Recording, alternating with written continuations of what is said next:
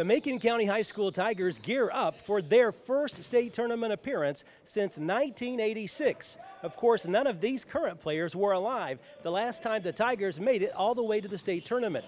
Needless to say, this bunch of guys quite excited about making their own bit of history. The Tigers are one of only eight teams in Class 2A across Tennessee still practicing. Of course, this is all possible courtesy of the Tigers' 69 58 sectional win over Chattanooga Tyner Academy March 6th before a raucous crowd at Nera White Gymnasium. Here's a shot for three way downtown. Heston King gets the rebound under the basket with three, two, one. Tigers win. Yep.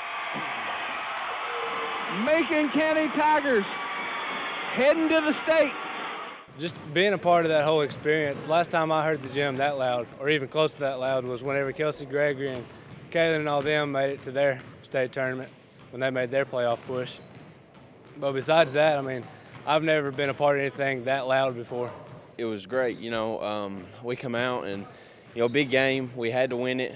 Uh, the fan, the fans were, you know, best of all. That's, I feel like that's what give us edge. You know, you come out you know, especially coming from somewhere else and there's that many people getting that crazy and being that loud, you know, it's got to be intimidating. You know, it's got it had to affect the way they played, and it definitely influenced the way that we played the game. The crowd was unbelievable. It really was like being in Hoosiers. You know, uh, it was so loud. Uh, our trainer, she said, "Don't you think they just wanted to go home the first time we scored? The place just almost blew up, and uh, you know, we got off such a good start, and the, and the place was rocking."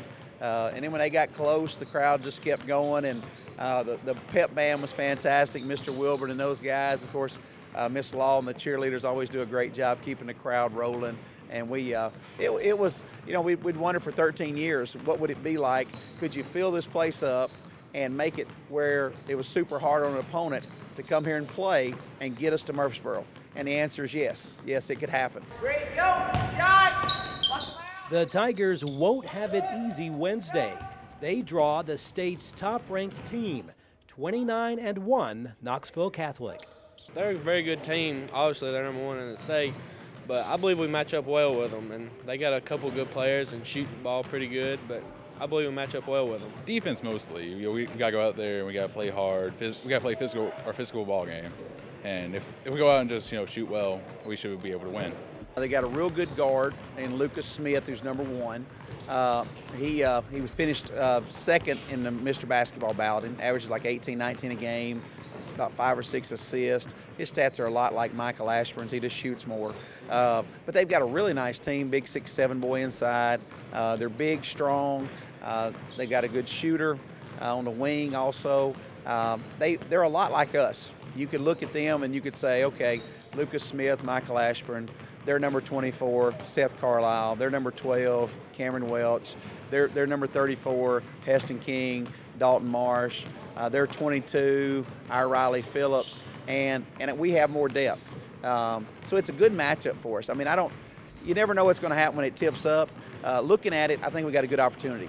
Uh, if we just go and play and remember who we are. We're, we're just like, be excited, uh, you know, be aggressive, be physical, be Macon County. All right, be the team that everybody loves. Everybody came over here, you know, Monday night wants us to be, and uh, so I just, for us, we just want to go and play our game. Tip off Wednesday for the Tigers state quarterfinal matchup against top-ranked Knoxville Catholic is set for 4:30. With a win, the Tigers advance to the state semifinals on Friday. Reporting from Macon County High School, Barry Hiett, NCTV.